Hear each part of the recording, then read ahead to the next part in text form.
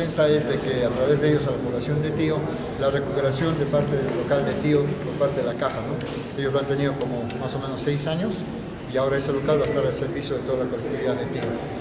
A precio cero, solamente cuando tú requieras tiene que ser morador de Tío, todo tu valú al día y tu limpieza al día. Es el único requisito, nada más. ¿Cuánto es lo que se ha recuperado? No se ha recuperado todo el primer piso. Cuando nosotros entregamos este local al señor Palomino Mora, ¿no? ellos tuvieron el compromiso de rendir cuentas cada año acá al municipio. Nunca lo han hecho. Ahora el compromiso de este señor Palomino Mora ha sido también el de construir los dos pisos que faltan. Nunca lo ha hecho. Ha venido hace un mes el señor Palomino Mora con el señor Rodríguez, dirigentes, a mi oficina a pedirme por favor que recupere yo el local de tío y aunque sea que lo maneje el municipio, porque no se lo puede agarrar la caja municipal. Eso es lo que he hecho. Y ahora este señor va sacando comunicado tras comunicado. Bueno, ¿en qué quedamos? Pero yo tengo para comprobar lo que dijo Palomino Mora acá. En estos seis años, ¿la Caja Municipal pagó algo por...? Por supuesto, la Caja Municipal con la anuencia de la Junta Directiva nosotros buscamos una empresa que nos pueda dar plata, porque nosotros no teníamos para qué, para construir los dos pisos con cimentación para cuatro, con la anuencia de la Junta Directiva de ese entonces, de Tío.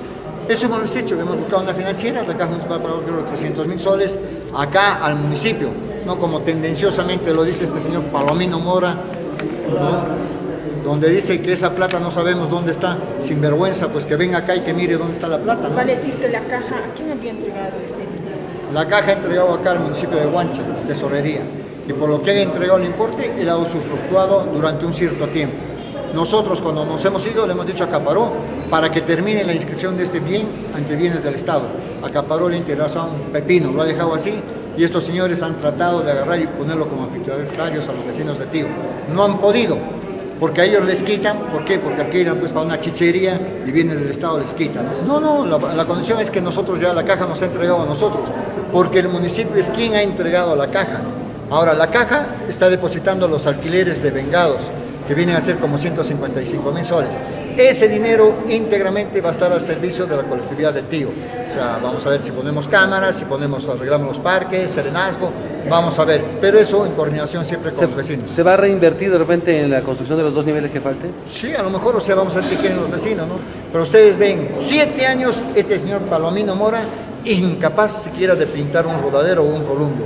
¿Qué han hecho con la plata? ¿Quién es Palomino Mora? Este es un señor que cuando nosotros hemos estado era presidente de los adjudicatarios de TIR. Eh, se ha quedado siete años el señor. La condición era de que él agarre, se le entregó, pero cada año iba a rendir cuentas al municipio de Huancha. Nunca lo ha hecho y no sabemos en qué gastó la plata. Yo tengo el memorial acá, donde los vecinos de Tío le piden al alcalde del año 2015 que recupere el local. ¿No? Acá está el memorial con las firmas. No son pues de 40 personas, son de más o menos 180 firmas, ¿no? Ellos me han pedido, lo he hecho. Y ahora va a estar al servicio de ellos, porque cuando iban los vecinos de tío, ¿queremos alquiler? No, ya está alquilado. Señor, ¿queremos alquiler? 300 soles, ¿qué tal raza? ¿Por qué? Si es un local que tiene que estar al servicio de ellos.